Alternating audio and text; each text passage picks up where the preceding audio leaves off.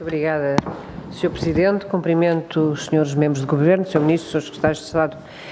A pergunta que eu queria fazer é sobre uma, como é denominada em Sines, uma pequena refinaria uh, que se chama EcoSlopes. Esta pequena refinaria tem a sua atividade traduzida na produção de combustível naval a partir de resíduos petrolíferos dos navios de carga, os tais slopes, que é assim que se chamam.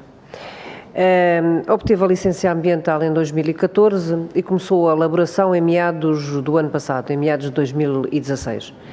Acontece que, passados cerca de dois meses da elaboração, começaram a surgir as primeiras queixas da incomunidade da elaboração desta atividade, provocada por fortes odores de hidrocarbonetos.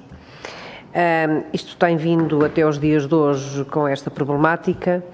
Um, e convém desde já referir aqui o seguinte: os primeiros, pelo menos dois bairros residenciais uh, estão junto ao perímetro da unidade Fabril, uh, cerca de 250 metros, o que é uh, incompreensível, uma vez que isto não se trata de uma situação passada, trata-se de uma situação recente, como disse, a licença ambiental foi conseguida em 2014.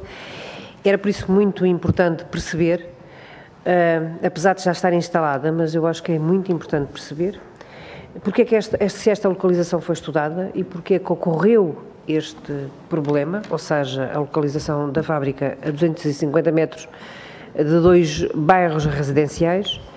E depois é também importante saber se as emissões que estão a ser produzidas cumprem os requisitos da licença ambiental e se foram já determinadas medidas com finalidade de terminar ou minimizar, no mínimo, passo o pleonasmo, das emissões e dos impactos da elaboração da EcoSlopes.